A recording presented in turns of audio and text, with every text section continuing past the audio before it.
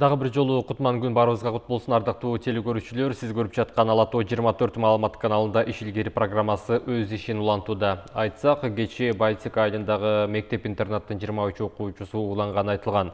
А бүгүнкү күндө алардын абалы туруктуу экени маалымдалды алар бишкек шаарындагы номер үчүнчү балдар клиникалык ооруканасында дарыланууда алдыдагы мүнөттөрдө биз ооруларды алдын алуу жана мамлекеттик санитардык эпидемиологиялык көзөмөлдөө департаментинин тамак аш коопсуздугун көзөмөлдөө жана инфекциялык эмес ооруларды алдын алуу бөлүмүнүн башчысы азамат кыпчакович менен да ушул балдар кандайча ууланып калган ага бүгүнкү күндө кимдер жооптуу болот деген суроонун тегерегинде сөз кылабыз ал эми биз менен бирге болуп мына ушул маекке күбө болуңуз саламатсызбы агай кош келипсиз мына биз жогоруда айткандай эле кечээ баягы ушул байтик айылында окуучулар массалык түрдө ууланганы айтылды. Бул өтө баягы өлкөдө жагымсыз бир маалыматтардын катарын толуктады ушул боюнча бир аз токтолуп кетсеңиз чындыгында эле кечээ ошо бишкек шаардык клиникалык балдар ооруканасына түнкү саат мурда күнү ошо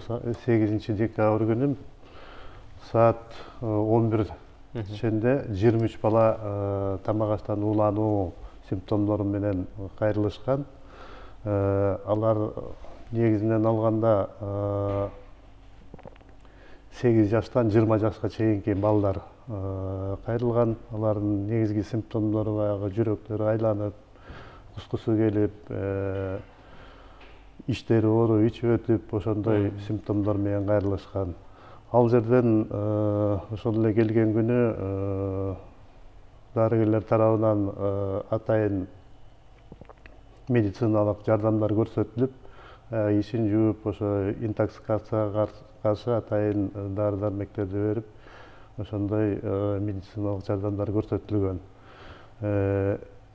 Тогузу күнү эртең менен бизге ошо тамак аштан уулануу массалык уулануу боюнча бизге атайын ошо билдирүү келип түшкөн. Ошо билдирүү келип түшөр менен эле биздин аймактык ооруларды алдын алуу жана мамлекеттик санэпид көзөмөлдөө борбору тарабынан атайын эпид группа уюштурулуп ошондой эле биздин департаменттен дагы адистер менен чогуу барып кандай жагдай болуп атканын ошону барып эпидемиологдук баягы изилдөөлөрдү жүргүзүп келдик. Биринчи эле ошо барганда эртең менен биз бишкек шаардык баягы клиникалык ооруканага барып ошо балдардын жагдайлары менен таанышып алардан эмне жегендиги тууралуу кандай ооруп аткандары жөнүндө ошолордун абалдары жөнүндө барып билдик. Биз менен ошо кыргыз республикасынын саламаттык сактоо министри дагы барып ошо балдар менен жолугуп алардын абалдарын карап келди биз барганда алардын абалдары уже туруктуу болуп жакшы болуп калган эле андан чыгып ошо байтик айылындагы кут билим аттуу баягы окутуп тарбиялоочу комплекс деп коет экен мектеп интернатына барып ошол жердеги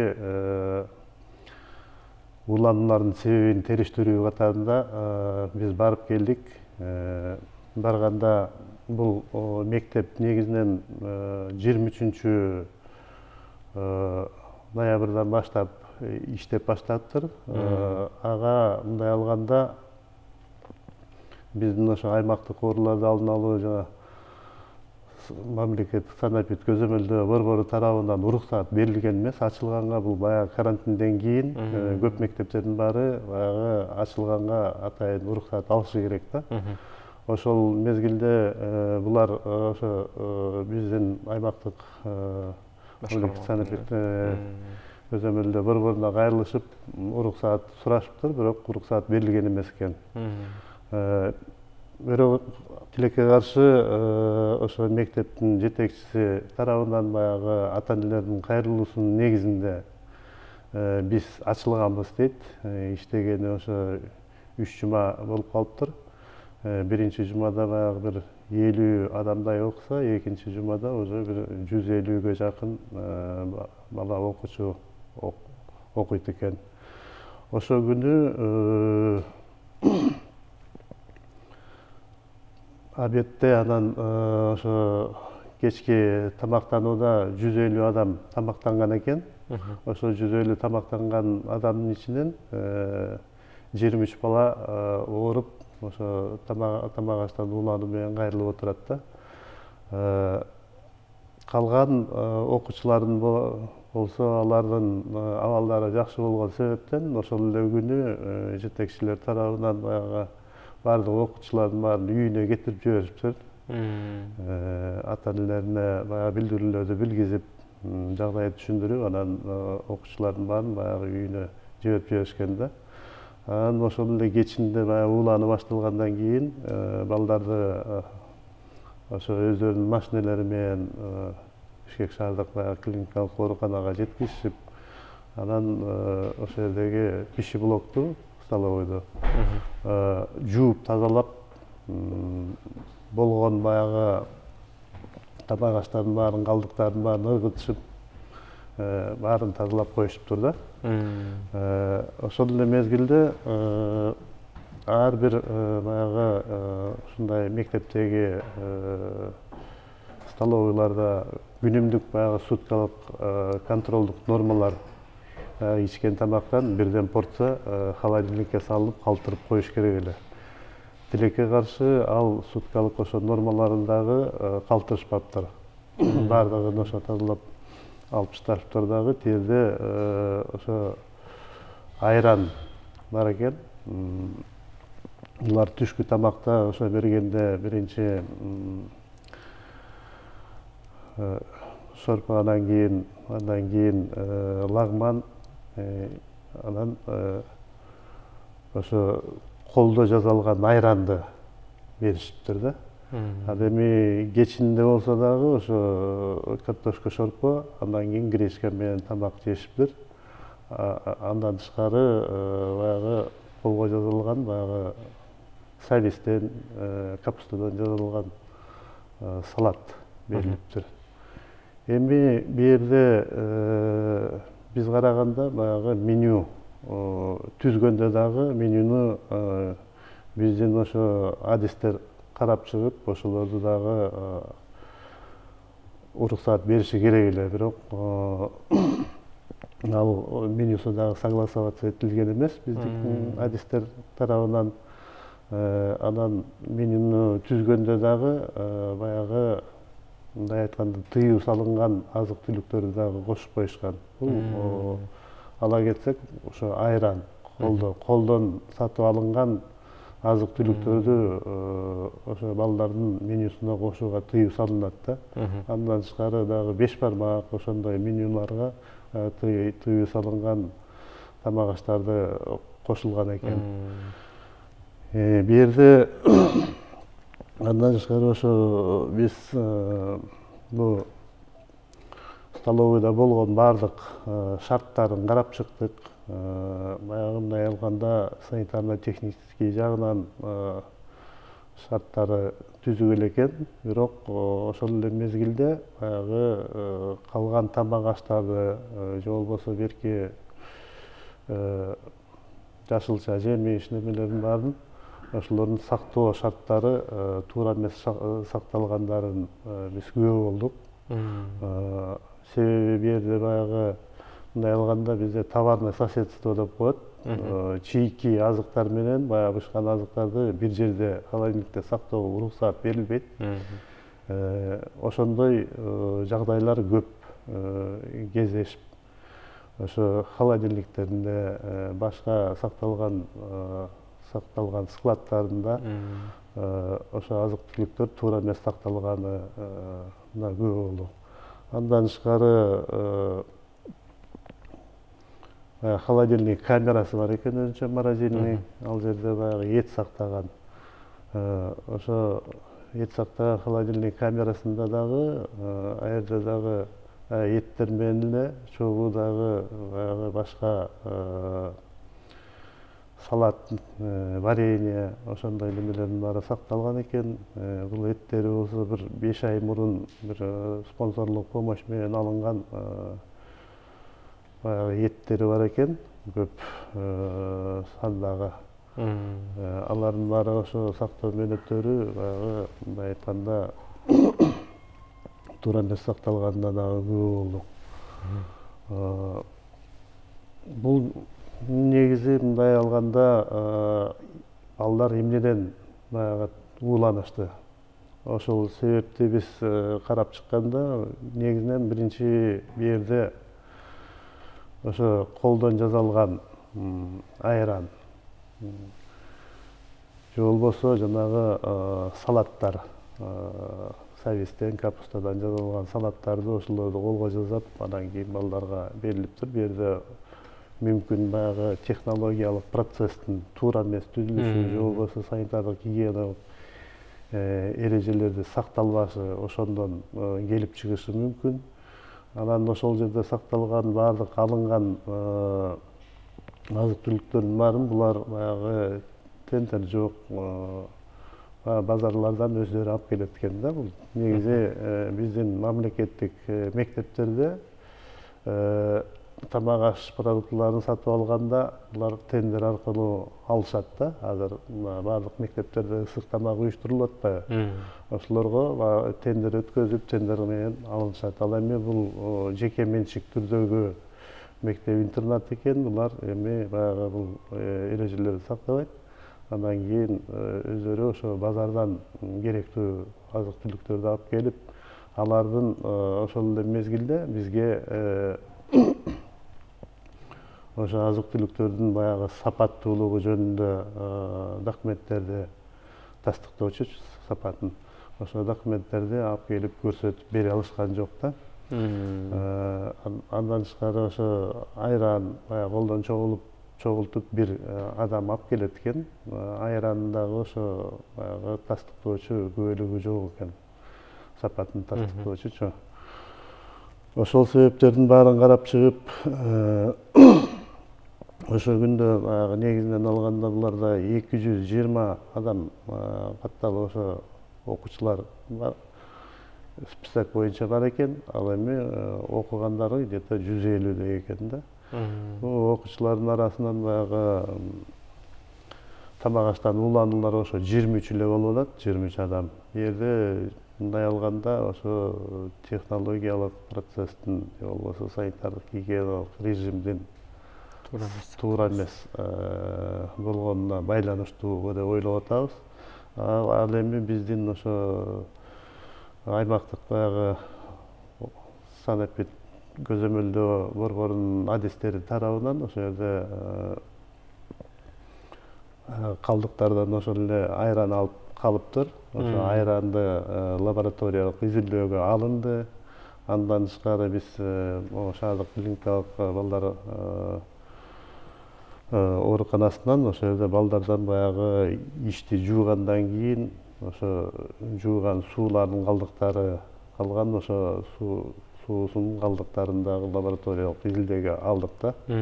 Эми бул лабораториялык изилдөөнү жүргүзүп ошо кайсы инфекция бар экенин билип аныкташ үчүн ошо где то бир жума убакыт кетет. Ошо бир жумалык убакыттын ичинде ошо кайсынын экени толук билинет да. Андан тышкары баягы ошол жерде иштеген үч повар бар экен алардын баягы медициналык кароодон өткөн санитардык китепчелерин карап ошо биз барган мезгилде алар санитардык китепчелерин көргөзө алышкан жок. Андан кийин ошо кетип атканда санитардык китепчелерин таап берип биздин ошо адистерге беришти анан ошо адистер ошол жерде санитар медициналык кароодон өткөн баардык немелерин карап чыгышат. Карап чыккандан кийин алар медициналык кароодон өттүбү баардык баягы шарттар менен ошо медициналык кароодон баардык специалисттерди өтүш керек да ошол специалисттерди өткөнүн карап чыгышат дагы андан тышкары ошо поварлордон баягы бизде внезапный баягы анализ деп коет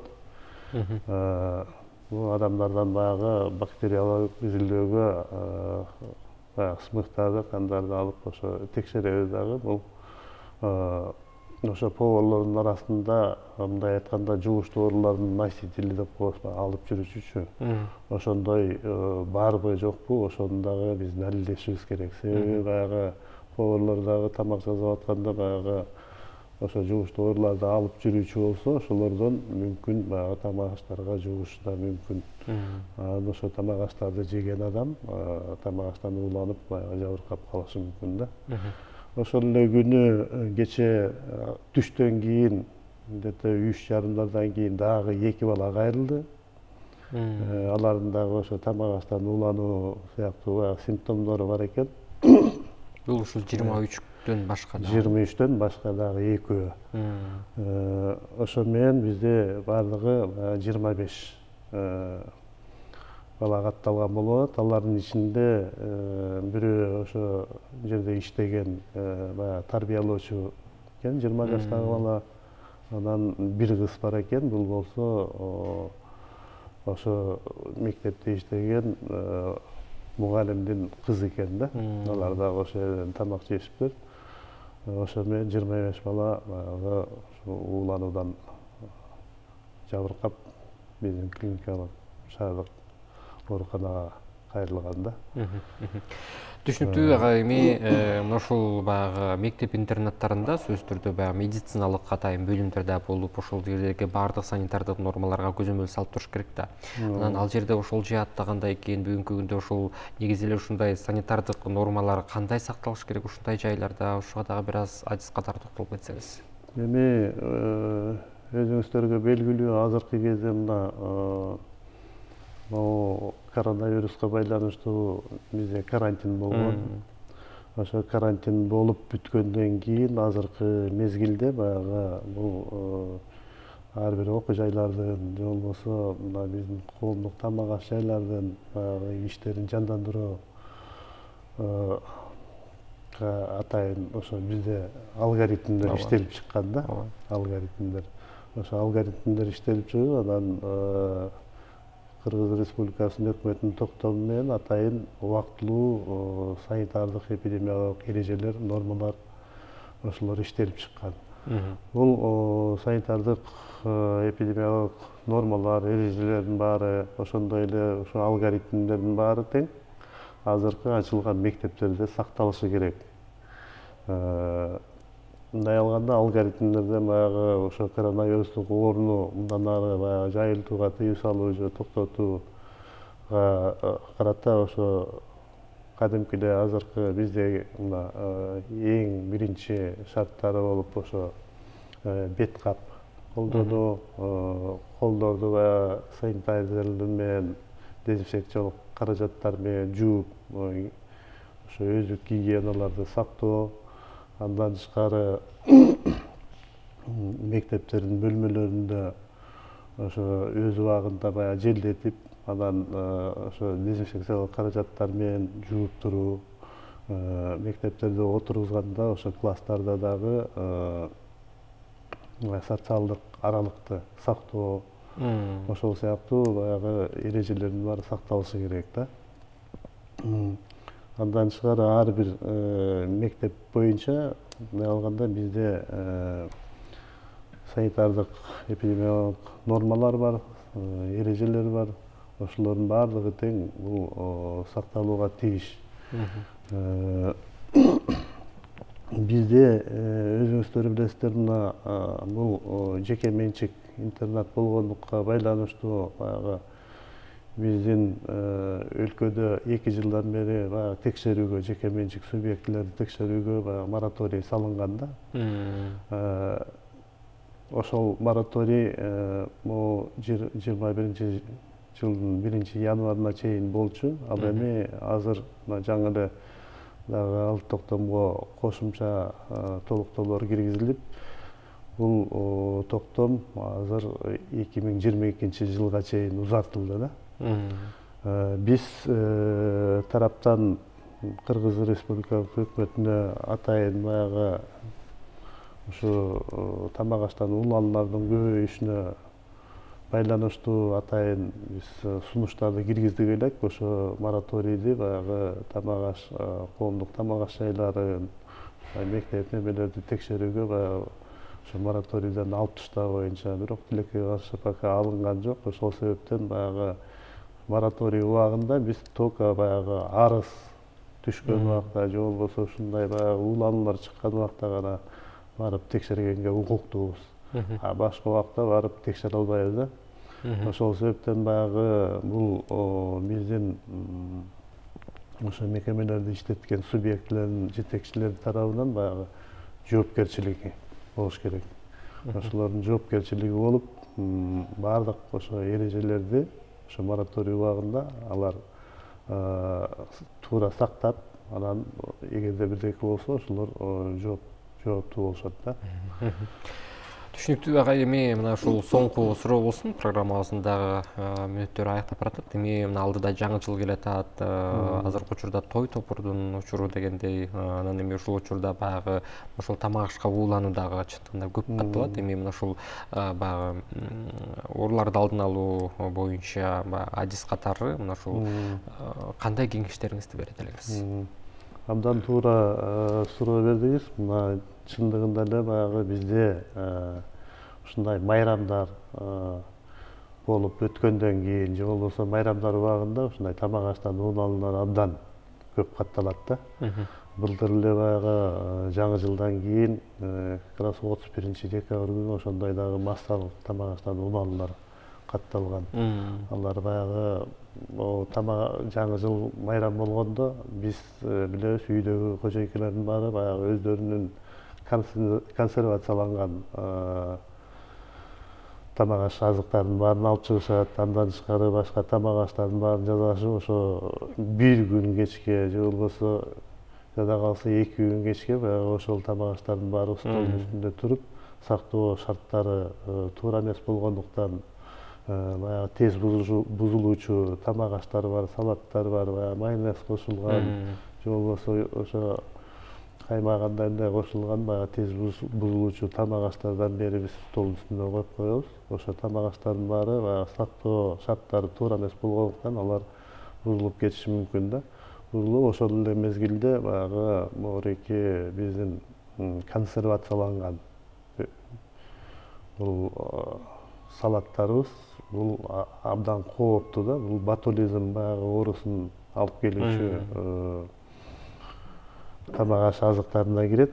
Бул ботулизм болсо өзүңүздөргө белгилүү абдан өтө анан өтө курч өтө тез пайда болчу оору. Ошондон жабыркагандан кийин өз убагында баягы медициналык медицинага кайрылып дарыланбаса анда алар каза болуп калышы да мүмкүн да ошол себептен биз айтып кетет элек могу көбүнчө мына майрамдарда андан тышкары баягы алкогольдук ичимдиктер дагы көп коюлат консервацияланган баягы консервированный суусундуктар дагы көп ичилет. Ошолордун баарын баягы сактоо мөөнөттөрүн сактоо шарттарын эгерде столдо көпкө турса ошол эле мезгилде баягы холодильникке коюп жиберип андан алып чыккандан кийин баягы жылытып ысытып кайнатып ошондой ичүүлөрдү биз сунуштайт элек. Анан ар бир адам өзүнө жооптуу болуп ошо баардык санитардык эрежелерди сакташын каалап кетет элем да чоң рахмат агай. Мына келип маек куруп бергениңиз үчүн ыраазычылыгыбызды билдирели. Эми мына ушул жогоруда айткандай баягы массалык түрдө балдардын уулануусу боюнча дагы буюрса кийинки алдыда күндөрү дагы маалымат беребиз деген ойдобуз рахмат. Ардактуу телекөрүүчүлөр биз жогоруда ооруларды алдын алуу жана мамлекеттик санитардык эпидемиологиялык көзөмөлдөө департаментинин тамак аш коопсуздугун көзөмөлдөө жана инфекциялык эмес оорулардын алдын алуу бөлүмүнүн башчысы азамат кыпчакович менен кечээ байтек айылындагы мектеп интернатында ууланган окуучулар тууралуу сөз кылдык маалымат катары айтсак кечээ вице премьер министр эльвира сурабалдиева балдардын уулануусуна байланыштуу жагдайды ыкчам жана так иликтөө тапшырмасын берген. Ала тоо жыйырма төрт каналынын программасы өз ишин улантууда биз менен бирге болуп өлкөдө жана дүйнөдө болуп жаткан акыркы кабарларга назар салып туруңуз